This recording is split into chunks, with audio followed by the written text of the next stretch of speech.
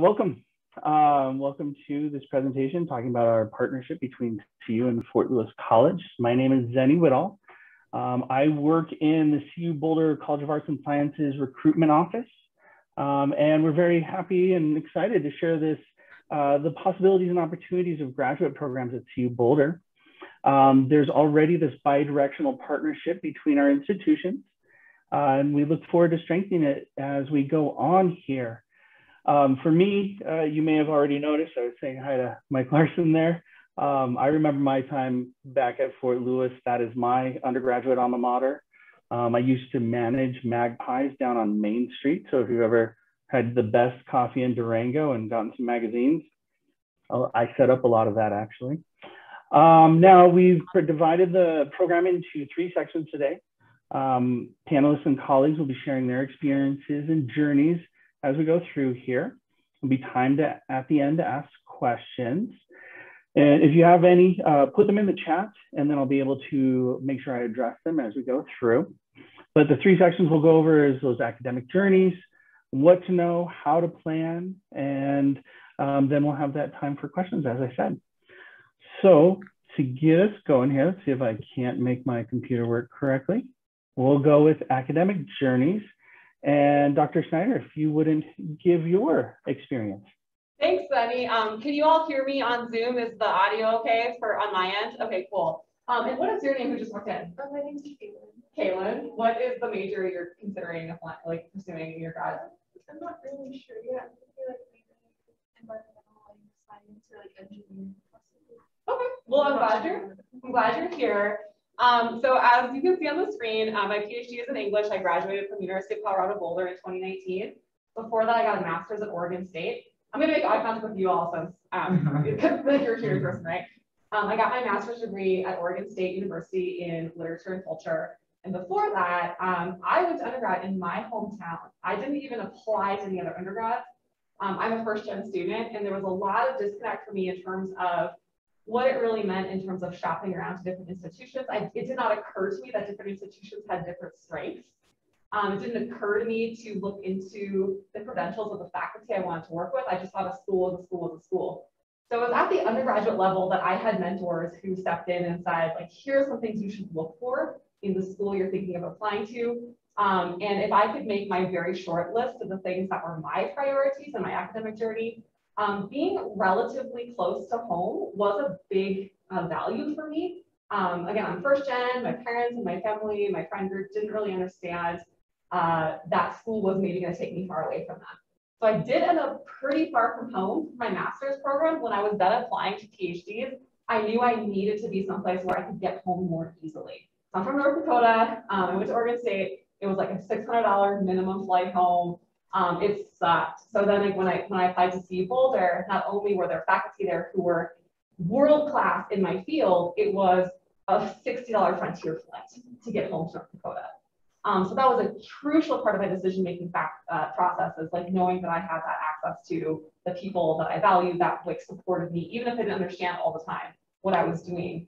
Um, another thing I mentioned briefly is uh, knowing the field I wanted to pursue, knowing the faculty members were going to be world-class, or at least um, at the top of the ranks in the nation in their in their majors, because it afforded me a leg up in my pursuit. In once it became time for me to pursue my career, my faculty members knew people at other institutions, they were well known themselves. Um, and uh, the things that they were working on were again like at the top tier of research happening in that field. Um, it really gave me a leg up when it came time to examining um, the course I would take in my own in my own research. So finding those mentoring connections um, with faculty. So I could say more in any direction. Um, funding obviously is hugely important. Um, the uh, kind of cultural opportunities in the city you end up in um, may be more or less important to, to, certain people. I have friends who said, I could never live anywhere where I can't get a certain type of cuisine, for example. I have friends who said, I could never live anywhere that wasn't within a day's drive of the ocean or a day's drive of good skiing, for example. So I could say a bit more about other considerations, but um, being close to home was a hugely important factor and finding faculty who uh, could could not only be at the top of their game in their field, but who um, I had the sense who would actually have time for me, who'd, who'd, make that time to make those connections with me. Um, so that's specific to my experience. I'd love to maybe tailor some comments um, to getting to more to the nitty gritty what you all are interested in. But I'm actually going to pass the mic now to the other people Zenny has on the roster who might be talking about their academic journeys and what stood out to them in their decision-making process. So who do we Absolutely. have next? Absolutely. Thank you, Dr. Snyder. Um, oh, and I forgot how we had all of our good um, uh, animations in here. Nice. I'm going to remember that one of these days. Um, so with the what to know in academic journeys, um, you know, Dr. Snyder shared her experience of how she went from not even knowing where to go to finding that right spot. Um, today we have with us uh, Sarah Kurnick and Andy Cowell, and they're going to, along with Amir Sadafi, who is one of our graduate recruiters, and I would leave it to those three to kind of give our experience of, you know, how do we find the community in our graduate programs, um, being lifelong learners throughout uh, the experience. And then, of course, you know, speaking to funding availability, um, that type of experience. So if Sarah, Andy, Amir, whoever wants to take it off first, I'll let you go.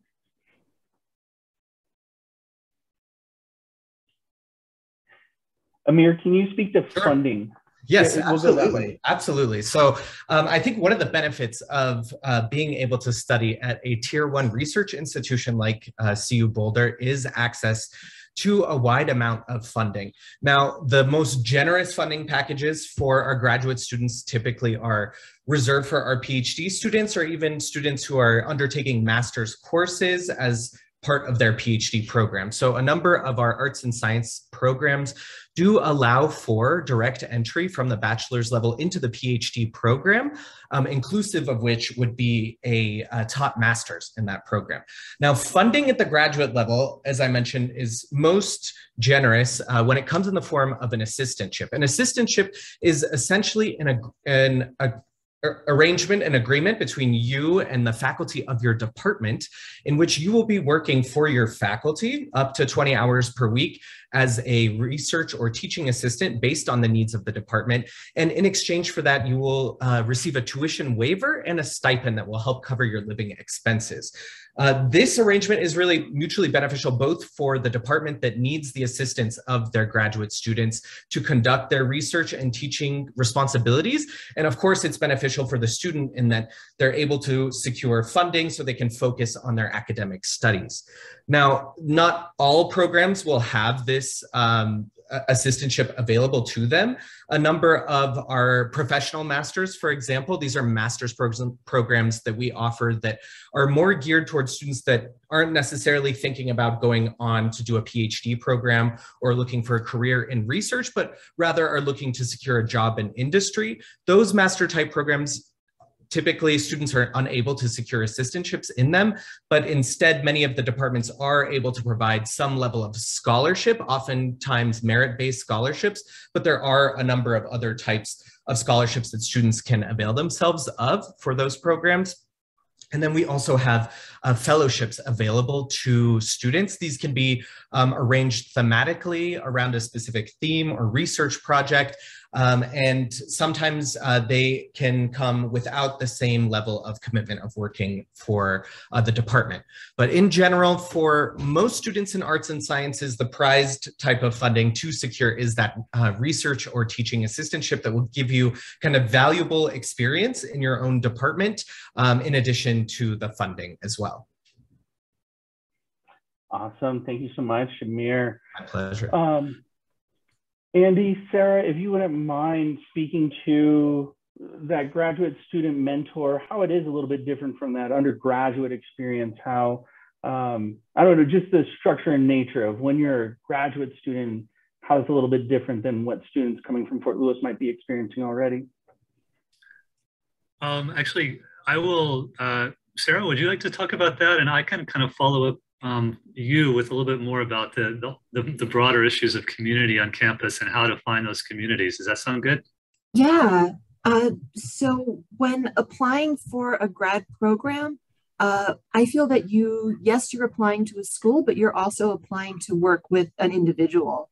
and your specific mentor, your advisor, the person who you are there to work with, uh, ends up being your sort of primary point of contact in a lot of ways. Uh, and that what's really important is to find a place where you feel like you have a good fit with your advisor uh, and that you two sort of have similar goals, uh, similar methods, and that you get along reasonably well. Uh, I know that having a strong and positive relationship with my advisor was one of the really important aspects uh, for me of being able to get through graduate school. Uh, and I didn't realize sort of how important this relationship was until after I was already there. Uh, but I think trying to find an individual that you are interested in working with uh, is really uh, important in this process. And I, I will just add that in addition to finding an advisor, which is really step number one, that's absolutely crucial. You're not going to succeed without that good relationship. But in addition, there are many ways to find a sense of belonging here on this campus and find additional people who will support you. And I think that's also really crucial. So, um, and, and, I'm speaking specifically from my position as the director of the Center for Native American and Indigenous Studies, and, and not that everyone listening to this is, is necessarily identifying with that um, identity, but um, we have a number of centers on campus. Um, for things like Native American and Indigenous studies, for African and African American studies, Latin American studies. And those are centers which are not just for people who are studying specifically that topic, but they're also great places to come for support and to find other students who may be, like if you were Native American or if you were Latin American, um, to find events where you can feel at home, make some connections, um, find other faculty who are going to be especially interested and supportive of you. So really, you know, you, you shouldn't just find only that one advisor and isolate yourself in that with that one person or in that one department, there are a lot of other opportunities when you come to a campus like this. And it, it can be kind of daunting when you get here and it's a large town and there's 30,000 students. And so these kinds of centers and, and other similar opportunities are really important to, to reach out for and, and find a, a smaller community of people that are going to make you feel supported and comfortable on campus and not just leave you feeling like, I'm the one person I know like me in this department, or you know, and, and I, I don't feel like I have any other connections outside of that that narrow framework. Absolutely, thank you, Sarah and Andy. So, you know, what I would add is, you know, coming from Fort Lewis to CU, and I'm not in that student uh, modality, although I did my MBA here at CU.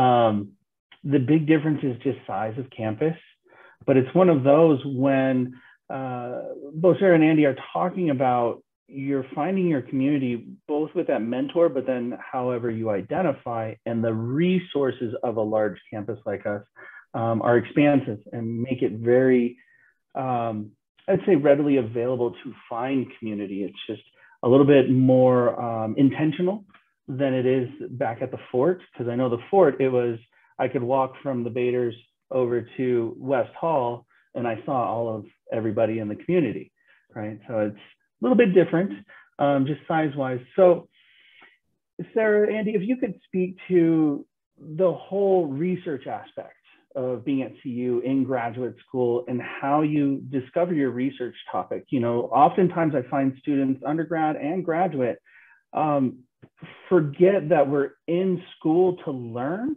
and that your professors aren't actually expecting you to know everything that we're learning about, right? So it's, I'm coming to graduate school, but I don't have to have that groundbreaking, unique research idea and focus yet that's part of what I'm going to develop in my program. Am I correct there? What what would you all say to that experience? I would completely agree with that. Uh, and oftentimes, when we're looking at applications, we want students who haven't fully formed their ideas yet, that that's actually a good thing, uh, because we want them to start taking our classes here, start interacting with the faculty members here, and through those interactions, through those initial classes, start to formulate different ideas. Uh, and we actually do want to leave our imprint on the students. So uh, I completely agree with you that you don't need to have this these ideas fully formed. Uh, we want to form them with you collaboratively uh, and not just sort of expect you to have that before you get here. Yeah, and, and speaking from uh, my position, I'm in the linguistics department. And for, for master students, we get a lot of applications from students who did not have a, a major in linguistics as an undergraduate. They just know they're interested in languages. They got exposed to it with a couple courses as an undergrad, and they want to continue to explore that. And we really welcome that. And we absolutely don't expect you to come in saying, I know exactly what I want to do. Um, and in fact, I, I, would suggest that you come in with an open mind and not decide ahead of time exactly what you want to do. Now, if you're applying to a PhD program, we do expect a little bit more of, of a sense of you know where you might want to go with this. And so rather than just saying I'm interested in languages, you might say, I'm really interested in, in sound systems of languages or something like that. But, but even then, uh, you know, you're not expected to know what you're going to write your dissertation on. The, the whole point of this experience is for you and the faculty to work together and arrive at that as a, as a kind of joint exploration process. So definitely do not be intimidated that uh, you're supposed to know it all by the time you get here.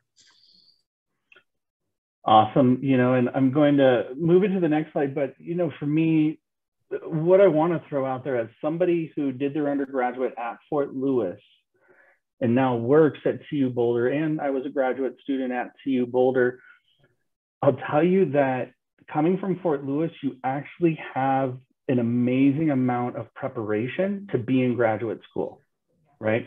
So at the fort, I remember, I actually still remember all of my professors, for the most part, all my professors' first names.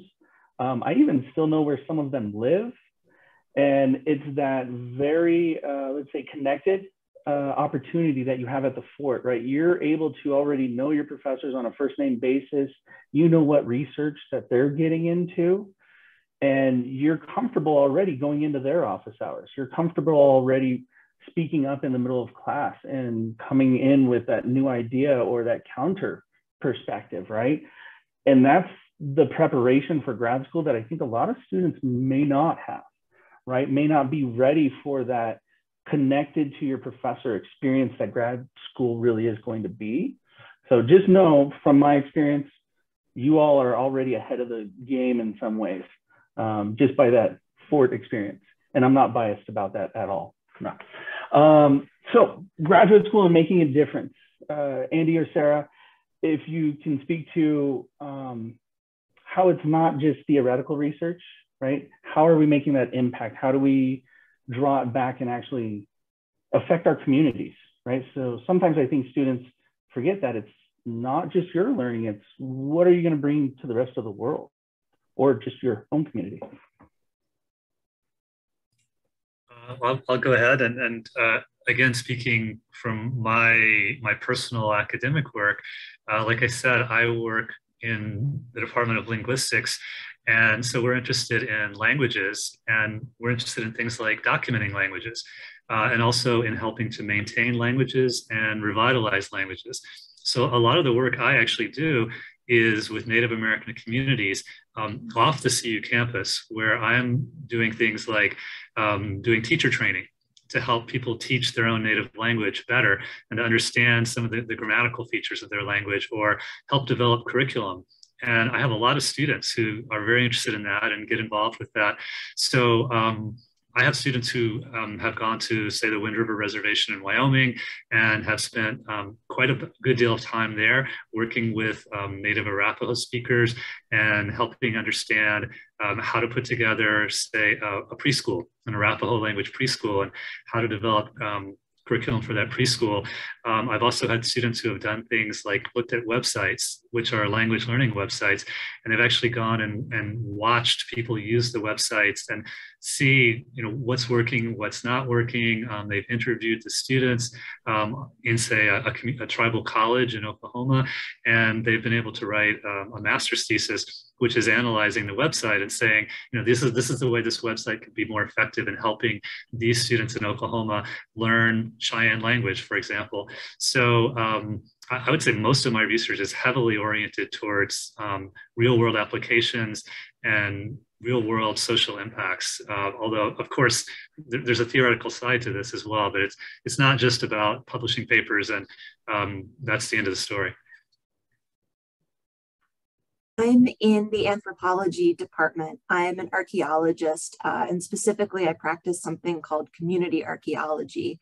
And the whole point of this is to make a difference in the real world and to work with, uh, for uh, indigenous, uh, local, oftentimes marginalized people. So I'm a Maya archaeologist, and I work very closely with a group of indigenous Maya people uh, in the Yucatan Peninsula of Mexico. Uh, and the, the idea is to work with this community and to together learn more about the Maya past. And a lot of what we're trying to do uh, is come up with educational material. So this past summer, for example, we produced a coloring book uh, for the children uh, who live in this particular community uh, to help them learn about sort of archaeology and Maya history.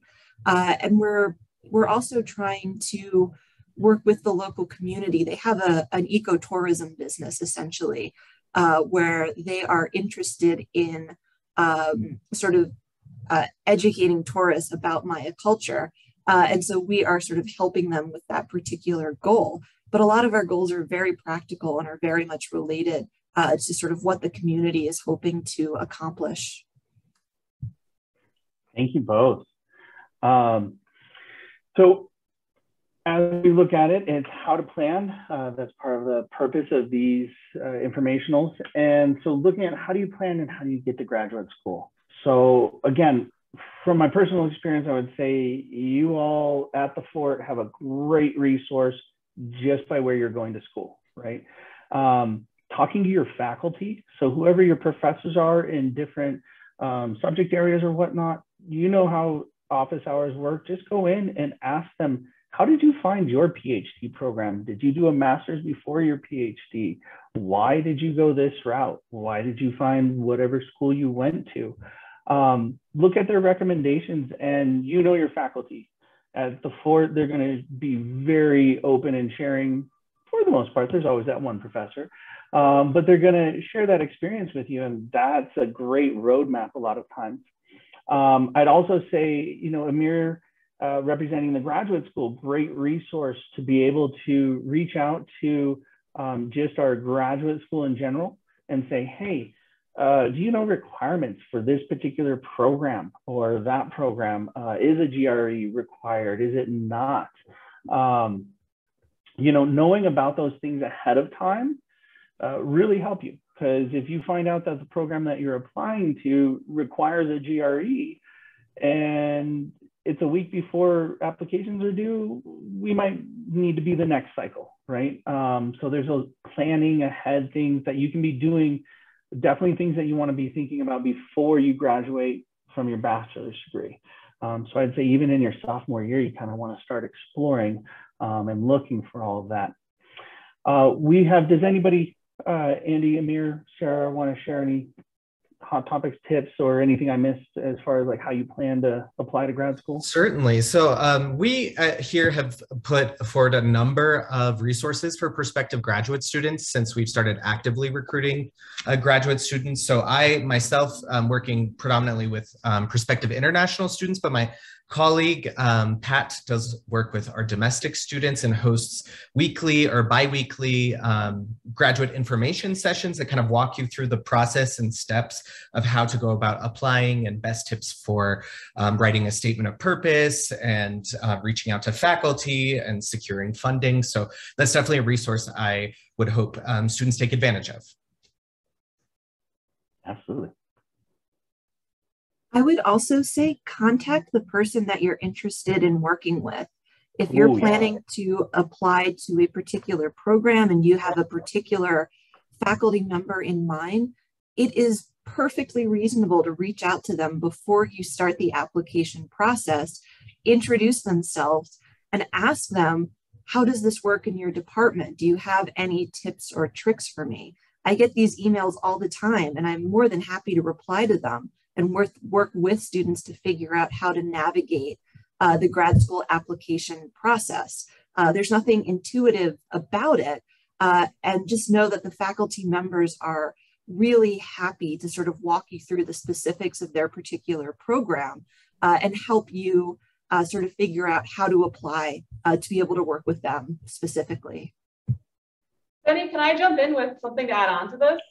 Um, Absolutely. Maybe, maybe, our panelists can speak to. So if anyone in the room is a senior and is thinking like, oh, I, I can't fathom taking the GRE anytime soon, could you speak to? Um, what is the GRE? Oh yeah, and we also need to know what the GRE is. So my ah. experience ah. was when I was a senior, again, I did not have any of this direction. And so I ended up having to take the GRE and apply to grad school two years after I finished my undergrad. So A, we, we have a question of what the GRE is in the first place. And B, if any of our panelists can speak to, do you look down upon people that are taking those years between their senior? And I know the answer is no, but if you could say a little bit more from your perspective, what that looks like to you if someone happens to be past their, a year or two past their undergrad or their undergraduate degree. Absolutely, absolutely. Andy, jump for it. Yeah, that that's absolutely not a problem and it can even be a benefit um, you know sometimes it's nice to see that people have had a couple of years away from school and had a chance to experience some life and think about where they want to go and, and now they're coming back two years later and they're really committed to applying um, as opposed to someone who just kind of stumbled out of undergrad and applied because they didn't quite know what else to do right so so it actually can be a strength to, to be a, to be waiting a couple years. And the GRE, the graduate record exam, it's just a standard um, graduate exam that everybody all over the country um, takes for, and it, it's the same test um, for all the different schools. You take it once and then you just um, send the results to any place you're applying. So you don't have to take it two or three times for two to three different schools. So um, that, you know, that's quickly what that is. Yeah. We have a, so, we have a quick we have a quick follow up question to that comment. Go for it. Yep. How yeah. long is how long is the GRE good for? Like if you take it when you're done with your mm-hmm. undergrad. Did you hear that? Yeah, Amir. Okay. We we accept uh, scores that are up to two years old. And so what I would say is that that's specific to CU Boulder, right? Make sure if you're looking at other schools, I don't know why you would, right? Because it's CU. um, I apologize for the, the humor but uh, make sure you're reaching out to the schools that you are interested in applying to and asking that exact question. Because um, some schools may say two years, some schools may say one year, three years. Just know what you're uh, working with there. Um, but yeah, any other thoughts there, Rebecca? Any, any other follow-ups? Yeah. Um, you guys in the room, we can have a conversation. I, I suspect Fort Lewis may have some maybe even financial resources to help pay for the GRE. Um, so that's something we can have a further conversation about on our end. Oh yeah, absolutely. And if you're if you're working with uh, Trio at all, uh, the Talent Search, Upward Bound, and um, Program for Academic Advancement folks, uh, absolutely go in there and they have resources to pay for the GRE for you. I can tell a 30 second horror story. When I finally got my shit together to apply to grad school, the closest town in my state that offered the GRE was an hour and a half bus ride away. I had to take an hour and a half bus ride to go take the GRE. So um, hopefully there's, you know, myself included, there are other people in your lives that can help you avoid some of those pitfalls um, and make it a smoother process for you all. Um, that's good advice to contact or to be aware of the school slash schools you're interested in applying to, um, what their uh, cutoff is for how, how long past uh, a score that they will accept. That's great advice. Right. Amir? Yeah, I just wanted to share uh, a couple things alongside that. I some of the international students I work with actually have to fly to another country to take that GRE exam because it's not offered in country. Um, but I was just going to note that um, something as many departments have, because of COVID, kind of temporarily waived the GRE, many of them are actually moving to waive that more permanently. Um, but I just want to draw everyone's attention to kind of two different philosophies of departments when approaching that. Some will say that the GRE is optional, uh, that you can submit it. If you have a strong score, it can boost your application, but not submitting it won't hurt your application.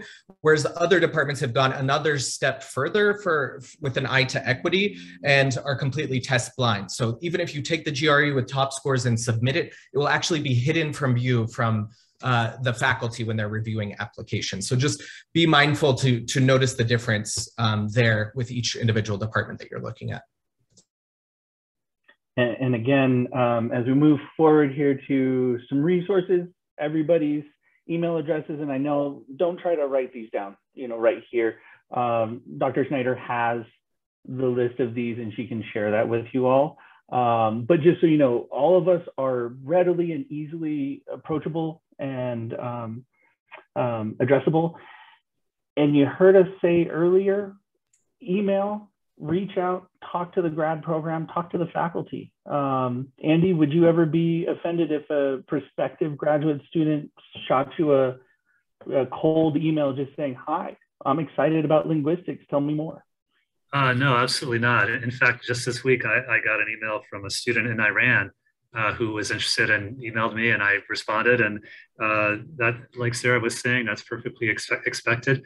Also, just quickly, um, in terms of who some of those people on those emails were, uh, the names for Taryn Andrews and Siboney Salazar. Um, those are those are both people that are at the Center for Native American and Indigenous Studies. So Taryn is a grad student and Siboney is our administrative person there um, and also a CU alum. And they're both um, much younger than I am and, and much uh, much more able probably to talk to you about you know what's Boulder like uh, to live in if you're um, 22 years old or 23 years old. Um, you know so it's and, and what's the campus like for someone um, that age as well? So if you don't want to talk to a faculty member but you want to talk to a student or, or, or uh, a recent student those would be two great people to contact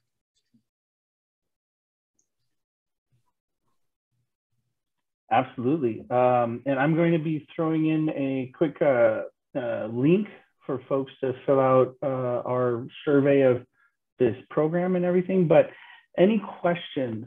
Um, and I would say exactly as Andy suggested, uh, Siboney, if you want to uh, shout out your student experience, please feel free not to put you on the spot. Don't feel like you have to, but um, if you wanted to. Yeah, so um, Hi, everybody. I'm Siboney Salazar. I went to CU from 2010 to 2015. I transferred from CU Denver um, to CU because I really wanted more of a traditional kind of college feeling, and I knew CU would provide that for me. Um, I majored in history and in ethnic studies here at CU Boulder. And I got this position here at the Center for Native American Indigenous Studies about two years afterwards. Um, but my experience at CU, uh, it was good. It was um, sort of hard to find Native American community here since there weren't a lot of students. Um, you know, not a large population. I know Fort Lewis has a very large Native American population there. So I'm sure it's easy to see people that look like you or that look, you know, they come from similar backgrounds. Um, but um, at CU, I'd say it was a little bit more of a struggle to find that community and to work for it. Um, but it it was awesome. I mean, once you once you get in, networked and, and dialed into people, um, in the community and you start working with other students who have similar interests as yours, it just broadens the horizon. There's a lot of students here at CU Boulder. There's, I think, what is it, like 30,000, 35,000? It's a lot. About 35, it's over, yeah, it's overwhelming. There's um, tons of people to meet. There's tons of groups to join in on. Intramural sports are fun. Um, but it, it's, it's a good time. I mean, like any other place, you you know, you want to find friendship, you want to make community for yourself. Um, you can do that here too. So I had I had a great time. I mean, I work here now. I love being part of this community and um, you know seeing these programs thrive. Thank you so much. Of course. And so, any any uh, final questions? Any thoughts, concerns? Anybody have last uh, comments? Yes, Dion.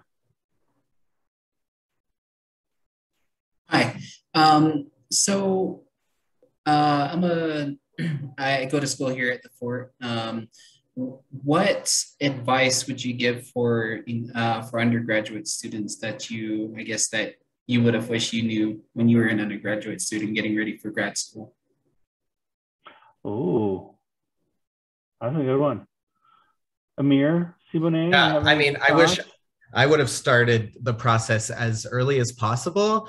Um, and I think, you know, I went to Boulder as an undergrad student, and, and then I went to the University of London as a graduate student. But uh, while I was a student, I really wasn't aware of so many of the resources available to an undergraduate student on campus um, to help prepare you to get into graduate school. So I would definitely take advantage. I think you're already doing a great thing right now by joining this session, um, but absolutely just you know start the process early while you still have a chance to really beef up your application and maybe get engaged in some types of research or other types of work that can really enrich your application for, for your graduate programs. I have an answer to this question too, if I can jump in. I'm writing the I'm writing the web addresses on the whiteboard so our students in the room can have access to these resources. I once once I got the idea in my head that I wanted to go to grad school, I asked every single professor who would sit and talk to me their journey. So how did you make your choice? What were your deciding factors? Um, those kind of things. And I just assembled a list of anecdotal advice of what everybody I respected did to get where they got to today Yeah, from from my personal experience, I would say, uh, don't get stalled in not knowing exactly what you want to do, and reach out and start the process earlier than later. I did I did my graduate degree almost 20 years after my undergraduate and it's it's a little bit harder to be in school even grad school when you have a whole lot more life going on around you. Um, a five year old does not help you study, just saying. But it, that was one thing that was really hard for me coming right out of my undergrad at the fort. You know, it was okay, I have to know exactly what I'm going to, you know, focus in for grad school, but I can't apply to grad school until I know what I'm going to focus in. And that's just a, a self replicating, uh, defeating cycle because like we said before, you don't have to have a fully formed, unique research point to come to grad school, right? That's part of the whole process is that discovery when you're here. Anybody else have those good, fun food for thought or like how I never found it? Jim, are you leaning in to tell us how you found grad school?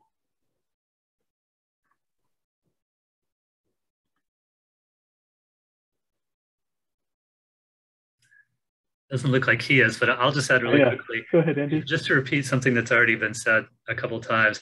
Um, people are not so much smarter than you are. And, and, you know, it's the older you get, the more you realize that um, everybody's kind of floating around in life a little bit sometimes. And, you know, don't get intimidated. Don't think people just don't have time for you or don't care about you or that they're just so you know up in the clouds above you that that um, it's it's hopeless to even you know try to contact them. I mean, we're much more like you, and um, you know than, than you realize in, in terms of you know what we know or um, even how sure we are of what we're doing. Yeah, absolutely. Other comments or questions? Yeah, I just say it? um, just to take like um, Andy was saying, um, don't be afraid to ask like the stupid question or just like the out there, I don't know, or the cold kind of email like, hey, does your department have funding for this? I'm struggling for X, Y, Z. I mean, in many instances, we've gotten these kind of cold emails and met with the person, created these relationships, and been able to help them or find um, you know, different partnerships in other departments and, and how we could help a student. So like just anything, you know, it could be just a couple emails here and there, you might get a response. And I've always found that to be the most useful, especially where we work. Um, but it's it's been helpful for us to know that we're able to help somebody, and then to know that these opportunities are there. You just have to ask for them. Don't be shy. Just try. Just try to do it. You might get a better response than you expected maybe we have questions Okay, we have a question. You can speak it into the camera. Um, how does it look doing grad school in another country? How does it look like going to grad school in a different country? Yeah, like the requirements, the similar Yeah. um, and like how to get there and that kind of thing, or is a lot harder? Yeah. Sure. So I can speak from my experience. I, as I mentioned, I studied at CU Boulder for my undergraduate degree and then really wanted to have the experience of doing my master's abroad. Um, so I did my master's in uh, Middle East politics at um, SOAS, which was a School of Oriental and African Studies at the University of London. And that was, I mean, a life changing experience for me, hands down honestly, to be completely frank, one of the things that did push me to look abroad uh, to Europe um, in the UK was I was intimidated by the GRE and I didn't want to take the GRE. And um, European schools, UK schools don't require the GRE. Um, I, so I, I, would say uh, it's it's pretty similar to the US system. You'll find a little bit more uh, flexibility um, with like deadlines and admissions sometimes um, with the European system. And then there's also a little bit of a stronger distinction in the in the European context between research-based degrees and taught master's degrees. We have that here as well, um, but it's slightly more pronounced in the UK system and the tracks that then follow are a little bit more rigid. Um, so I think you know the benefits of the U.S. system are uh, much more emphasis on interdisciplinary education. Um, but absolutely, as someone who did study abroad for my master's degree, I it was a fantastic, life changing experience for sure. I can thank you for that answer, and I can say a little bit more um, after this about the difference between the taught and the research MA, if that's something you're you want to hear more about. Um, I can I can fill in some of those gaps. Well, I should jump in though. I, I think it is fair to, to also provide a warning here that um, degrees are not equivalent sometimes. And if you get a degree from Europe, um, like their master's degree or their equivalent may not be the same as a US master's degree. And, you know, depending on where you want to work afterwards, you can run into problems where, um, you know, your degree isn't accepted in a certain country or is, isn't considered equivalent to a degree from some different country. So you, you, you do want to be extra careful and not go overseas and, and spend a lot of time and then realize that, you know, you've, you've got yourself in kind of a trap. Yeah, and that's what mentors are for, right? That's what mentors are for. They're the ones that can direct you towards those choices and what's the best for what you want to do next, right? Absolutely, absolutely. And I would say, um, similar to what Andy's saying, is if you have a path plan and knowing how it's all going to work out, there's also the flip side of knowing that there is not a one to one relationship in life meaning that it is not, you have to do XYZ along a very narrow, thin path to get to one place. There are actually a whole lot of different routes. And this is something I found out way too late in life. Um, and I'm not really even that late in life. But I would say, again, talking to your professors, especially there at the fort, you're going to have some stories where you're like, wait, you haven't always been a professor? You got kicked out of college and you're now a professor. Um, if anybody's ever had chemistry with Dr. Essler, who retired a couple years ago, um, that was his story. You know, undergrad, he uh, actually had to leave for a little bit and then came back, crushed it, and he was a very respected uh, chemist at SC and then came to Fort Lewis. Um, so, I mean, just talk to your professors, talk to your mentors, find their stories, and you're going to go, whoa, okay, there's not just, I have to have a 4.0, I have to have a perfect GRE, I have to have prior research experience. A lot of those have tos that we get ourselves intimidated by actually don't exist, is what I would say. Yeah, any? No, I think we're good in the room. If there's other folks who have joined virtually, maybe last call for them. Yeah. Any last calls with questions in the chat? I don't think I've missed any. Nope, so pretty good, pretty good. While you're looking, you want us to fill out the survey that you've given the link for. And then the other link is, if I'm understanding this correctly, students can sign up, they fill out, um, they get information based on what department they're interested in applying to. Amazing. Correct. Okay, very cool. Yeah, each individual department will send you a series of emails about their programs, research, um, admissions requirements. So all very useful information at this stage that you're exploring programs. Awesome. Thank you. That's really cool. And I would say for all of us, uh, okay, Dion, real quick, uh, requirement page for geoscience, chair review. Chair review will not be viewed until it will be, okay. So Amir, can you see that in the comments? Sure, yes. Yeah, I can I can answer that for Dion. Dion, I that's a challenging one. I would definitely take stock of all of the programs that you're looking to apply to because uh, you wouldn't want to not take the GRE just for Boulder if you also are looking you because you don't want to close the door or window of opportunity to apply to other programs that may require the GRE. But if you find in your research that all of the programs that you're looking to apply for have a similar view of the GRE where they're not even going to consider it, then yeah, I wouldn't take it. Cool. Awesome. Parting thoughts, going once, going twice. This does not have to be the last conversation you have with any of these people you met on Zoom today. Yeah. yeah. Absolutely email us. And, you know, I'm realizing that as we start to normalize and come out of the pandemic, um, for those of you who are online with us, again, click on that Qualtrics link in the chat to fill out that survey. And for those of you in IRL, that real life thing, I'm gonna make sure I remember for our next presentation to do a, a, a easier like bit.ly link versus trying like to a, type out like a, whole. Like a QR code maybe on the flyer. Yeah. Yeah, yeah. yeah. We'll work on that part. but yeah. Excellent. Thank you so much, everybody who was here to present, everybody who was here to learn and participate. Thank you. Thank you so much. Um, take care of Durango for me. I miss it uh, immensely, but I am excited for you all to join us up in Boulder if that's where your path leads us. And thank you so much, everyone. Have a great night.